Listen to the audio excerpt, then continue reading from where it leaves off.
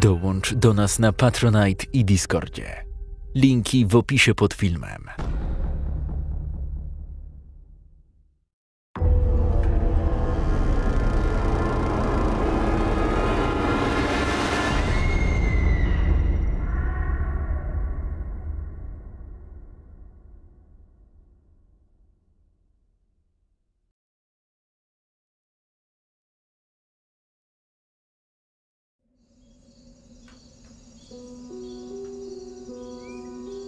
Całe lato przed rozpoczęciem szkoły podstawowej spędziłem na nauce wspinania się po drzewach. Za moim oknem rosła sosna, która była jakby stworzona dla mnie. Miała bardzo niskie gałęzie, na które z łatwością mogłem wejść i przez kilka dni, zanim nauczyłem się wspinać wyżej, siedziałem na jednej z najniższych gałęzi i machałem nogami. Drzewo stało za ogrodzeniem z tyłu domu i było widoczne przez okno w kuchni, przez które widziała mnie mama. Mieliśmy taką niepisaną umowę, że bawiłem się na drzewie, kiedy mama zmywała naczynia, żeby mogła mnie cały czas obserwować. Kiedy lato mijało, byłem już dobry we wspinaczce i wchodziłem dość wysoko. W końcu doszedłem do momentu, w którym nie mogłem wspiąć się wyżej, bo gałęzie u szczytu były zbyt cienkie. Musiałem wprowadzić zmiany w mojej zabawie. Skupiłem się na prędkości i udało mi się dotrzeć do najwyższej gałęzi w ciągu 25 sekund. Stałem się zbyt pewny siebie i pewnego popołudnia spadłem z drzewa i złamałem rękę w dwóch miejscach. Mama przybiegła do mnie z krzykiem. Pamiętam, że słyszałem jak z ściany. Nie pamiętam, co mówiła, ale pamiętam, że byłem zaskoczony, jak białe są moje kości. Miałem dopiero zacząć szkołę, więc nie miałem kolegów, którzy podpisaliby się na moim gipsie. Moja mama musiała czuć się okropnie, bo dzień przed pierwszym dniem w szkole przyniosła do domu kociaka. Był malutki, rudo-biały w pręgi. Jak tylko postawiła go na podłodze, wlazł w pudełko po napojach. Nazwałem go Boxes. Boxes wychodził na dwór tylko wtedy, kiedy udało mu się uciec. Mama obcięła mu pazurki, żeby nie niszczył mebli, więc robiliśmy wszystko, żeby nie opuszczał domu. Czasami mu się udawało i ganiał za owadami w ogrodzie. Łapaliśmy go wtedy i zanosiliśmy do domu. Wdrapywał się na moje ramię, żeby jeszcze popatrzeć na ogródek. Powiedziałem mamie, że planował kolejną ucieczkę. W środku dostawał trochę tuńczyka i nauczył się, że dźwięk otwieranej puszki oznacza jedzenie. Przybiegał, kiedy tylko to usłyszał. Przydało się to później, ponieważ pod koniec naszego mieszkania w tamtym domu Boxes częściej uciekał na zewnątrz i chował się w szczelinie między domami, gdzie nie chcieliśmy wchodzić z powodu brudu, pajęczyn i robaków. Mama przyniosła puszkę w to miejsce i otworzyła ją. Boxes wybiegł miaucząc i wyglądał na podekscytowanego, a potem przerażonego, że w taki sposób go podeszliśmy. Nie dostał wtedy tuńczyka. Ostatnim razem, kiedy uciekł w szczelinę, był naszym ostatnim dniem w tamtym domu. Mama wystawiła dom na sprzedaż, więc pakowaliśmy nasze rzeczy. Nie mieliśmy tego zbyt dużo, ale mama kazała zapakować mi swoje rzeczy dużo wcześniej. Widziała, że nie chcę się przeprowadzać, więc pomyślała, że trzymanie moich ubrań w pudełkach przyzwyczai mnie do tej myśli. Kiedy Boxes wyszedł z ukrycia, układaliśmy kartony w samochodzie. Mama przykleła, bo zdała sobie sprawę, że spakowała już otwieracz do puszek i nie pamiętała dokładnie gdzie. Udawałem, że idę go poszukać, żeby nie musieć wchodzić w szczelinę. Ale moja mama w tym czasie tam poszła. Wyszła z kotem na rękach i wyglądała na zdenerwowaną, co tylko utwierdziło mnie w przekonaniu, że dobrze zrobiłem wracając wtedy do domu. Spakowałem jeszcze kilka rzeczy, podczas gdy moja mama wykonała kilka telefonów. Przyszła potem do mojego pokoju i powiedziała, że tego dnia zaczniemy się już przeprowadzać. Wypowiedziała to jak wspaniałe wieści, ale ja miałem nadzieję, że spędzimy w starym domu trochę więcej czasu. Poza tym, jeszcze nie skończyliśmy pakowania, ale mama przekonała mnie, że czasami lepiej jest kupić nowe rzeczy niż spakować wszystkie stare i ciągnąć je za sobą przez całe miasto. Nie miałem nawet szansy zabrać kilku pudeł z moimi ubraniami. Zapytałem, czy mogę zadzwonić do Josha i pożegnać się z nim, ale mama powiedziała, że zadzwonię z nowego domu. Odjechaliśmy busem. Udało mi się utrzymać kontakt z Joshem przez kilka lat, co było miłą niespodzianką, bo nie chodziliśmy już do tej samej szkoły. Nasi rodzice nie byli przyjaciółmi, ale wiedzieli, że my byliśmy, więc wozili nas do siebie nawzajem. Czasami zostawaliśmy u siebie na weekend. Na Boże Narodzenie nasi rodzice kupili nam wspaniałe walkie-talkie, które miało większy zasięg niż odległość między naszymi domami.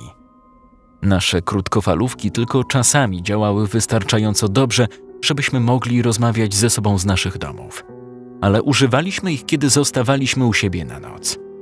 Dzięki naszym rodzicom nadal byliśmy przyjaciółmi, kiedy mieliśmy po 10 lat.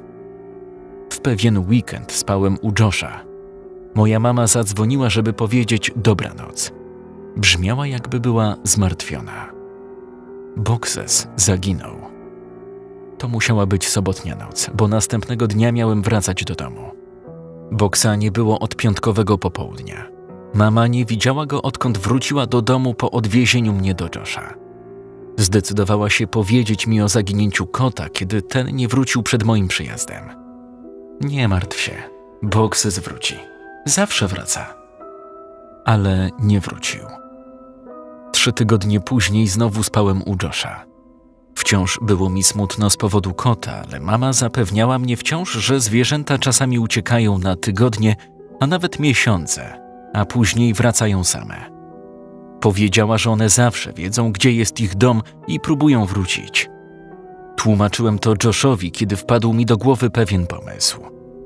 A co jeśli Boxes wrócił do złego domu? Powiedziałem na głos. Co? Przecież mieszka z tobą i wie, gdzie to jest. Josh był zdezorientowany. Tak, ale na początku mieszkał gdzieś indziej. W moim starym domu, kilka ulic stąd. Może dalej myśli, że to jego dom? Tak jak ja. A, rozumiem. Byłoby super. Jutro powiemy mojemu tacie i zawiezie nas tam. Nie zawiezie. Moja mama powiedziała, że nie mogę chodzić do starego domu, bo nowy właściciel nie chce, żeby mu ktokolwiek przeszkadzał. Powiedziała o tym twoim rodzicom. Dobra, w takim razie jutro wyjdziemy się bawić i pójdziemy do tego domu i... Nie! Jeśli ktoś nas zauważy, twój tato się dowie, a potem moja mama. Musimy tam pójść dzisiaj. Nie musiałem długo przekonywać do tego pomysłu Josha. Zawsze to on miał pomysły w tym stylu. Ale nigdy wcześniej nie wychodził z domu bez wiedzy rodziców. Okazało się to bardzo łatwe. Okno w jego pokoju otwierało się do ogródka, który był otoczony płotem, ale bramka nigdy nie była zamknięta. Zabraliśmy ze sobą nasze walkie-talkie i latarkę. Istniały dwie drogi, by dostać się do mojego starego domu. Mogliśmy pójść przez miasto albo lasem, co zajęłoby o połowę mniej czasu. Pójście miastem zajęłoby około dwóch godzin, ale i tak upierałem się na tę drogę, bo nie chciałem się zgubić. Josh nie zgodził się. Powiedział, że ktoś może nas zobaczyć i powiedzieć wszystko jego tacie. Zagroził, że wróci do domu, jeśli nie pójdę skrótem. Nie miałem więc wyboru. Josh nie wiedział nic o mojej ostatniej przygodzie w lesie. Z przyjacielem i latarką tak bardzo się nie bałem i szliśmy szybko. Nie byłem całkiem pewien, gdzie jesteśmy, ale Josh wydawał się pewny siebie, co podniosło mnie na duchu. Przedzieraliśmy się przez dość gęsto rosnące drzewa, kiedy moje łoki-toki zahaczyło o gałąź. Josh miał w ręce latarkę, więc to ja próbowałem jej oswobodzić. Nagle Josh powiedział: Hej, chcesz popływać? Spojrzałem w miejsce, które oświetlał latarką, i w tym samym momencie zamknąłem oczy, bo dobrze wiedziałem, gdzie byliśmy. Josh wskazywał na dmuchanego rekina. To tutaj obudziłem się kilka lat wcześniej. Poczułem gulę w gardle i łzy w oczach, kiedy dalej walczyłem z walkie-talkie. Byłem już sfrustrowany, więc pociągnąłem z całej siły tak, że złamała się gałąź, ale walkie-talkie zostało w mojej ręce. Obróciłem się i zacząłem iść w stronę Josha, który położył się na dmuchanym rekinie i udawał, że pływa. Po drodze potknąłem się i prawie wpadłem do dość dużej dziury. Na szczęście udało mi się utrzymać równowagę i zatrzymałem się na jej brzegu. Była głęboka. Byłem zaskoczony jej wielkością, ale bardziej martwiło mnie to, że wcześniej jej nie widziałem. Zdałem sobie sprawę, że nie było jej tu tamtej nocy, kiedy obudziłem się w lesie, bo stałem teraz w tym samym miejscu. Odepchnąłem od siebie te myśli i zwróciłem się do Josha. Przestań się wygłupiać. Widziałeś, że tam utknąłem, a ty leżałeś sobie na tym rekinie i się śmiałeś. Po tych słowach kopnąłem w dmuchanego rekina i usłyszałem skrzeknięcie. Uśmiech zniknął z twarzy Josha. Wyglądał na przerażonego i próbował zejść z rekina. Ale nie mógł, z powodu dziwnej pozycji, jaką obrał. Za każdym razem, kiedy z powrotem upadał, słyszeliśmy to samo skrzeczenie. Chciałem mu pomóc, ale nie mogłem podejść bliżej. Moje nogi odmówiły mi posłuszeństwa. Nienawidziłem tych lasów. Podniosłem latarkę z ziemi i oświetliłem nią rekina. W końcu Joshowi udało się wstać i podbiegł do mnie, patrząc na co świecę latarką. I wtedy to zobaczyliśmy. Szczur. Zacząłem się nerwowo śmiać i odprowadziłem szczura wzrokiem, kiedy uciekł w głąb lasu. Josh delikatnie uderzył mnie w ramię. Uśmiech powoli wracał na jego twarz.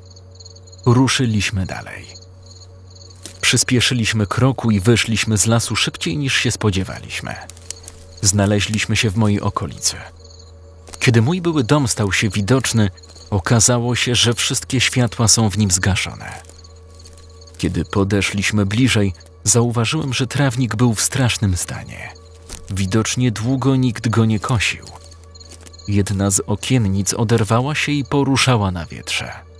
Cały dom wyglądał po prostu na brudny. Poczułem smutek na widok mojego starego domu w takim stanie. Ale dlaczego moja mama miałaby się przejmować, czy nowi właściciele będą dbać o dom? I wtedy zdałem sobie sprawę. Nie było nowych właścicieli. Dom stał opuszczony. Wyglądał na zapomniany.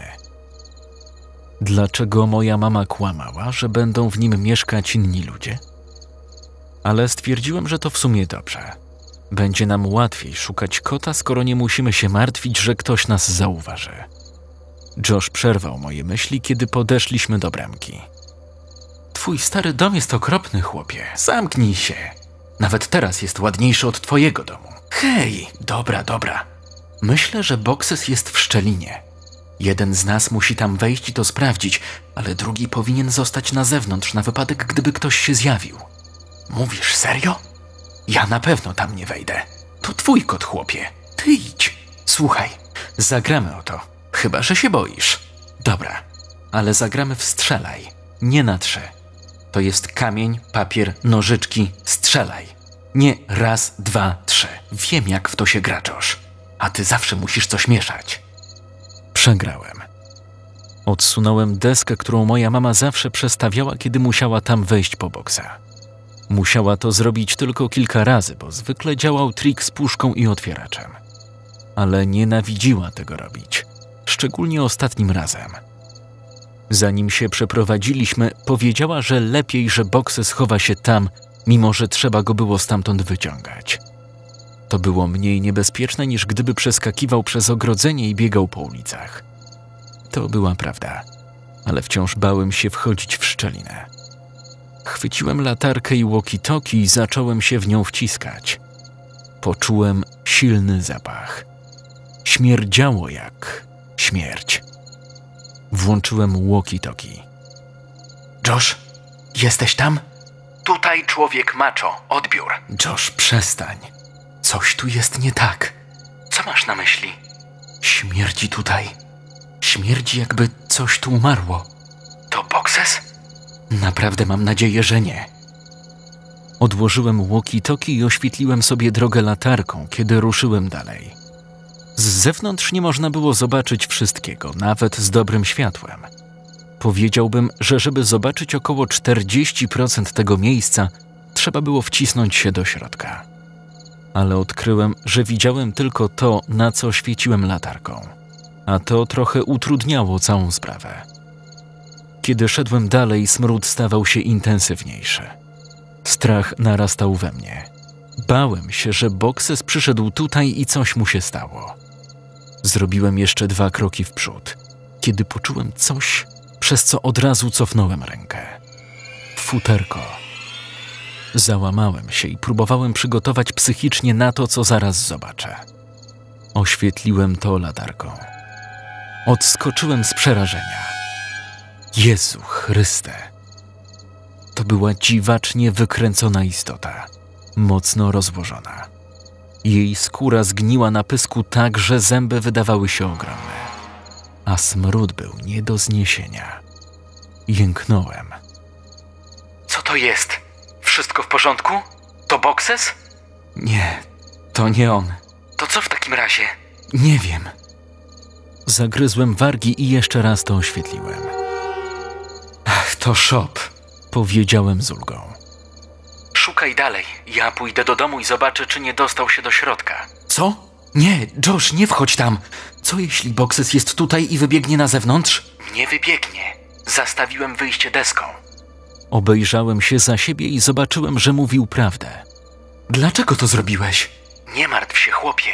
Łatwo ją odsuniesz. To nawet lepsze rozwiązanie. Bo jeśli Boxes wybiegnie i go nie zauważę, to już go nie znajdziemy. Jeśli tutaj jest, złap go mocno, a ja odsunę deskę. Jak go nie znajdziesz, to sam ją odsuniesz, a ja przeszukam dom. Mówił sensownie, ale wątpiłem, że dostanie się do domu. Dobra, ale uważaj na siebie i niczego nie dotykaj. W moim pokoju są pudełka z ubraniami. Zobacz, czy Boxes nie wszedł do jednego z nich. I nie zapomnij walkie-talkie. Spoko. Zdałem sobie sprawę, że w domu będzie kompletnie ciemno. Nikt nie płacił rachunków, więc nie będzie prądu. Być może Josh zobaczy coś w świetle lamp ulicznych, a jeśli nie, to nie wiem, co zrobi. Po krótkiej chwili usłyszałem kroki nad głową. Josh, to ty? Tu człowiek macho. Orzeł wylądował. Co u ciebie, księżniczko Jasmine? Odbiór. Dubek. Człowiek macho jest w twojej łazience i przeglądam kubkę gazet. Wygląda na to, że masz magazyny dla mężczyzn. Co mi o tym powiesz? Odbiór? Usłyszałem śmiech i sam też zacząłem się śmiać. Kroki się oddaliły. Josh zmierzał do mojego pokoju. Chłopie, ale tu ciemno. Jesteś pewien, że są tu pudełka z ubraniami? Żadnych nie widzę. Tak, kilka kartonów powinno stać koło szafy. Nie ma tu żadnych pudełek. Ale sprawdzę jeszcze, czy nie wsadziłeś ich do szafy przed przeprowadzką. Pomyślałem, że moja mama mogła wrócić, zabrać moje ubrania i po prostu je komuś oddać, bo ja i tak już z nich wyrosłem. Ale pudełka na pewno zostawiłem koło szafy. Nie miałem nawet czasu zamknąć ostatniego z nich, zanim wyjechaliśmy. Kiedy czekałem, aż Josh powie mi, co znalazł, machnąłem nogą z nudów i uderzyłem w coś. Spojrzałem w dół i zobaczyłem coś bardzo dziwnego. Koc, wokół którego stały miseczki. Podszedłem bliżej. Koc pachniał wilgocią. Miseczki były puste, oprócz jednej. Kocia karma. To był inny rodzaj niż dostawał Boxes, ale zrozumiałem. Moja mama przygotowała to miejsce dla niego, żeby nie uciekał za bramę. To miało sens i wydawało się prawdopodobne, że Boxes mógł tu wrócić. Znalazłem twoje ubrania. Świetnie. Gdzie były pudełka? E, tak jak mówiłem, nie ma pudełek. Twoje ciuchy są w szafie, wiszą na wieszakach.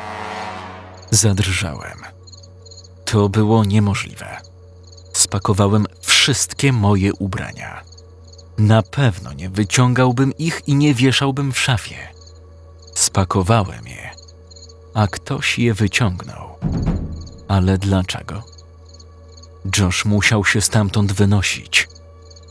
To nie w porządku, Josh. Powinny być w kartonach. Przestań się wygłupiać i chodź na zewnątrz. Nie żartuję. Właśnie na nie patrzę. Może tylko ci się wydawało, że je spakowałeś. ja! Lubisz na siebie patrzeć, co? Co? O czym ty mówisz? Twoje ściany. Całe ściany są pokryte twoimi zdjęciami. Są ich setki. Wynająłeś kogoś, żeby. Cisza. Sprawdziłem moje walkie-talkie, ale nie wyłączyło się. Słyszałem kroki Josha, ale nie byłem pewien, dokąd zmierza. Czekałem, aż dokończy urwane zdanie, bo pomyślałem, że przez przypadek palec ześlizgnął mu się z przycisku. Kroki sugerowały, że chodził z pokoju do pokoju. Miałem właśnie coś powiedzieć do niego, kiedy usłyszałem: Ktoś jest w domu. Głos Josha był cichy i drżał. Byłem pewien, że walczy ze łzami. Chciałem odpowiedzieć, ale zastanawiałem się, jak głośny będzie mój głos. Co jeśli ten ktoś mnie usłyszy? Nic nie powiedziałem, tylko czekałem i nasłuchiwałem. Słyszałem kroki, ciężkie kroki, a potem głośne uderzenie. O Boże, Josh! Znalazł go. Byłem pewien.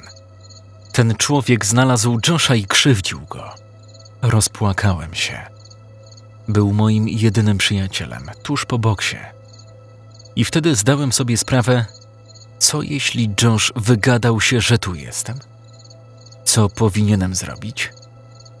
Nagle usłyszałem głos Josha. On coś ma, chłopie. Dużą torbę. Rzucił ją właśnie na podłogę i. O Boże, torba. Chyba się poruszyła. Byłem sparaliżowany ze strachu. Chciałem uciekać do domu. Chciałem uratować Josha. Chciałem iść tam i mu pomóc. Chciałem zrobić wiele rzeczy, ale nie mogłem się ruszyć. Przez przypadek oświetliłem latarką przeciwległy róg w szczelinie. Nie mogłem oddychać po tym, co zobaczyłem. Zwierzęta. Mnóstwo zwierząt. Wszystkie martwe. Leżały na kupie. Czy Bokses był między nimi? To po to ktoś zostawił tutaj kocie żarcie? Zobaczenie tego wyrwało mnie z szoku i wiedziałem, że muszę się stąd wydostać. Dotarłem do deski. Popchnąłem ją, ale ani drgnęła. Byłem uwięziony. Pieprz się, Josh, pomyślałem ze złością. Słyszałem głośne kroki nad sobą. Cały dom się trząsł. Usłyszałem krzyk Josha, zaraz po nim drugi krzyk przerażenia. Nadal pchałem deskę i poczułem, że się poruszyła, ale wiedziałem, że to ktoś z zewnątrz mi pomaga. Nadal nade mną rozbrzmiewały kroki, a przed sobą słyszałem krzyki. Odsunąłem się i wyciągnąłem przed siebie rękę z walkie aby móc się bronić. Deska została odrzucona na bok. Poczułem, jak ktoś chwyta mnie za rękę. Szybko, zwijamy się stąd. To był Josh. Dzięki Bogu. Wyszedłem ze szczeliny. Kiedy dotarliśmy do bramki i przeskoczyliśmy przez nią, Josh upuścił swoje walkie-talkie. Próbował go dosięgnąć, ale kazałem mu o tym zapomnieć. Musieliśmy uciekać. Za nami słyszałem wrzask, ale nie były to słowa, tylko same dźwięki. Bez zastanowienia wbiegliśmy do lasu, aby szybciej znaleźć się w domu Josha, który przez całą drogę krzyczał: Zdjęcie! On zrobił mi zdjęcie! Ale ja wiedziałem, że ten mężczyzna już miał zdjęcie Josha. Zrobione w lesie ze mną. Podejrzewałem, że Josh nadal uważał tamte mechaniczne dźwięki za odgłosy robota. Udało nam się dotrzeć do pokoju Josha, zanim jego rodzice się obudzili. Zapytałem o wielką torbę, którą widział i czy naprawdę się poruszyła. Odpowiedział, że nie jest pewien. Cały czas przepraszał mnie, że upuścił walkie-talkie. Nie spaliśmy do rana, tylko wyglądaliśmy całą noc przez okno. Kilka dni temu opowiedziałem mamie tę sytuację sprzed lat. Była na mnie wściekła, że wpakowałem się w takie niebezpieczeństwo. Zapytałem ją, dlaczego okłamała mnie na temat nowego właściciela. Dlaczego też uważała ten dom za taki niebezpieczny? Wpadła w histerię, ale odpowiedziała mi. Złapała mnie za rękę. Spojrzała mi w oczy i wyszeptała, jakby bała się, że ktoś ją usłyszy. Ponieważ nigdy nie umieściłam żadnych koców i miseczek w szczelinie dla boksa. Nie tylko ty je tam znalazłeś. Zakręciło mi się w głowie. Rozumiałem już. Zrozumiałem, dlaczego wyglądała na zdenerwowaną, kiedy wyciągnęła kota ze szczeliny. Znalazła więcej niż tylko pająki i szczury. Zrozumiałem, dlaczego wyjechaliśmy dwa tygodnie wcześniej. Zrozumiałem, dlaczego robiła wszystko, żebym nie próbował wrócić do tamtego domu. Wiedziała. Wiedziała, że zrobił sobie dom obok naszego, ale nie powiedziała mi o tym. Wyszedłem bez słowa i nie opowiedziałem jej całej historii, ale wam ją opowiem. Wróciłem do domu od Josha i po prostu rzuciłem swoje rzeczy na podłogę. Jedyne, czego pragnąłem, to sen. Obudziłem się około dziewiątej wieczorem, bo usłyszałem miauczenie boksa. Poczułem ulgę. Kot w końcu trafił z powrotem do domu. Czułem się źle, bo gdybym zaczekał jeszcze jeden dzień, cała poprzednia noc by się nie wydarzyła. Zszedłem z łóżka i zawołałem boksa, ale nie widziałem go. Miauczenie nadal rozbrzmiewało, więc podążyłem za nim. Dochodziło z łóżka. Zaśmiałem się i wlazłem pod nie. Miauczenie dochodziło spod mojego podkoszulka, więc chwyciłem go i krzyknąłem: Witaj w domu, Boxes!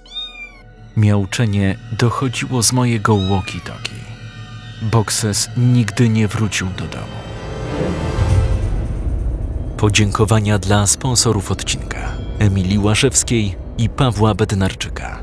Patronami Mystery TV są Aleksandra Roszkiewicz, Sandra Polak, Noctua Corium, Mateusz 2727, Jakub Komorowski, Marcin Pielak, Beniamin Machała, Krystian Wysocki. Opracowanie wersji dźwiękowej dla kanału Mystery TV Studio Lektor.pl Czytał Jakub Rutka.